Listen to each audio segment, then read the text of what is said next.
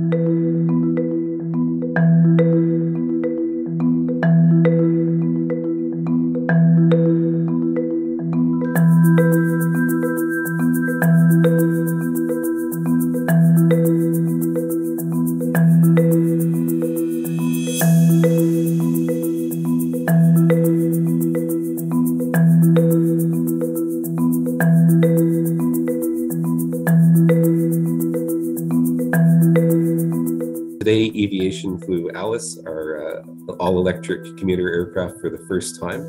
Uh, the aircraft, it was a, a, a, just a wonderful experience for everyone who was here. Um, we were able to witness history uh, in the making. Uh, the flight lasted for eight minutes. Uh, we flew 3,500 feet uh, in altitude, and we were able to complete our test plan exactly as we intended to.